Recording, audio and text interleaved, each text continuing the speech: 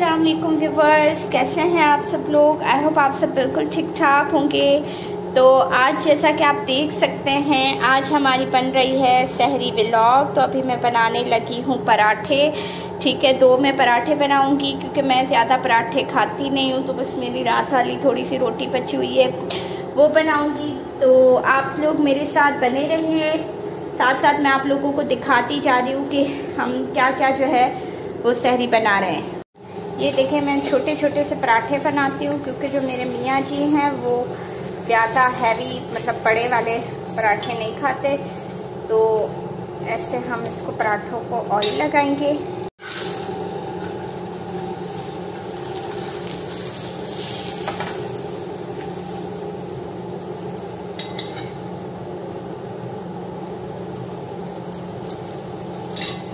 मेरे जो है, पराठे बन गए हैं।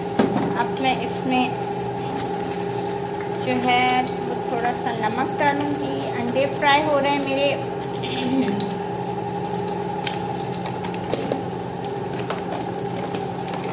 आ, ये मेरे नहीं है मतलब जो हैं जिनके लिए मैं बना रही हूँ उनके। क्योंकि मैं एग जो है वो शहरी में नहीं खाती। तो उनके खाने का तरीका कुछ ऐसे ही है। ठीक है?